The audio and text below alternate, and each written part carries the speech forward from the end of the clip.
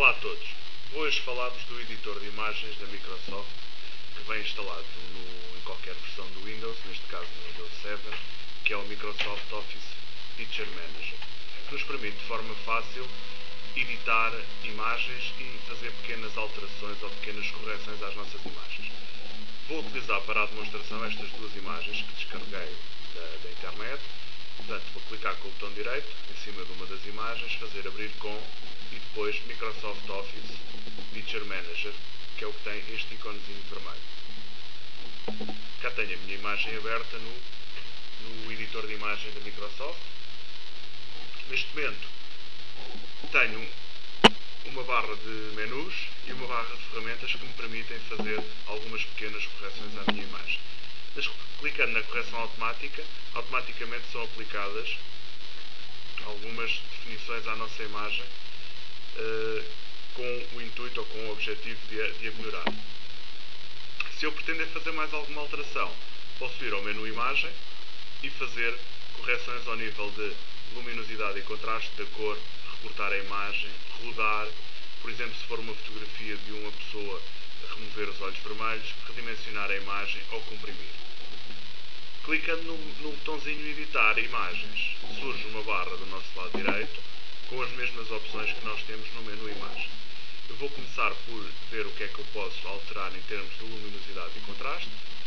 Clico na luminosidade e contraste, aparecem três barras em que eu posso mexer na luminosidade da imagem e reparem no que é que vai acontecendo, no contraste, permite-me, por exemplo, quando tenho fotografias muito escuras, trabalhar a luminosidade e o contraste de maneira a encontrar um ponto de equilíbrio entre a imagem. Permite-me ainda ajustar o tom. Ajustei, vou voltar para a edição de imagens, posso editar a cor. Na cor posso mexer na quantidade de saturação, nas definições da tonalidade da saturação, okay? na tonalidade da cor, na saturação, mais saturado ou menos saturado. Ok? Vou voltar. Recortar permite fazer recorte, um recorte da minha imagem. Aqui eu vou selecionar apenas a área que necessito. E o que isto vai fazer é com que, ao fazer OK, a minha imagem fique com este tamanho. Passei a ter uma nova imagem, fazer um, um guardar como, fecheiro, guardar como, vou-lhe chamar flower pequena, guardar e tenho o recorte feito. O rodar permite-me rodar na horizontal ou rodar na vertical. Portanto, eu rodar na horizontal, a imagem roda horizontalmente, na vertical roda verticalmente. Permite-me ainda rodar em graus de 35 graus, 25 graus, por exemplo, 45 graus, 90 e assim sucessivamente. E rodar para a esquerda ou rodar para a direita. A opção de redimensionar permite-me definir tamanhos para a minha imagem. Tenho o tamanho original, posso definir larguras pré-definidas, que já existam aqui,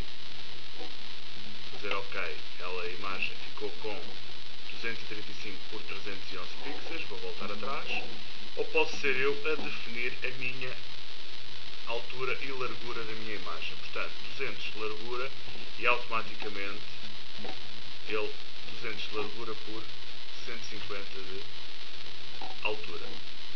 Faço OK e cá tenho a minha imagem redimensionada.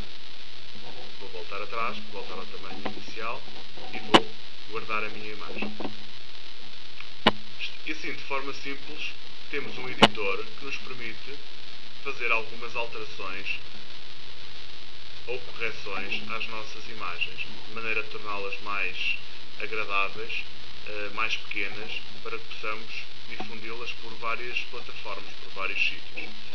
Vou agora abrir outra imagem, por exemplo esta, e vou fazer a mesma demonstração. Portanto, vou editar a imagem, vou começar por redimensionar esta imagem para uma, altura, uma largura e altura pré-definida, por exemplo, para a web, 448 por 336, vou dizer ok, redimensionei.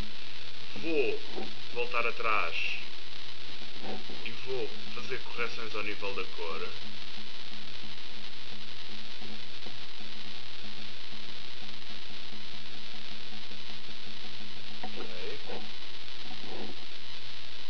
Vou mexer na luminosidade e no contraste.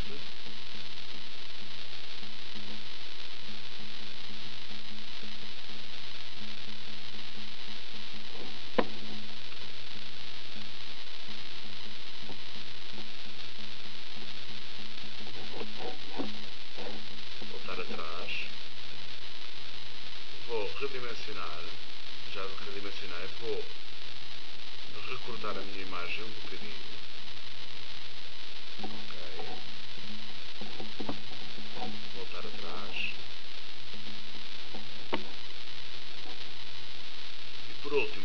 comprimir a imagem para a disponibilizar através da internet. voltar atrás, fazer guardar e tenho as minhas duas imagens alteradas. Portanto, esta era a imagem original, uma nova imagem, imagem depois de alterada e a minha, a minha, a minha última imagem que eu trabalhei, uh, já também com todas as, as, características, com todas as configurações uh, aplicadas. Espero ter sido útil. Até uma próxima oportunidade.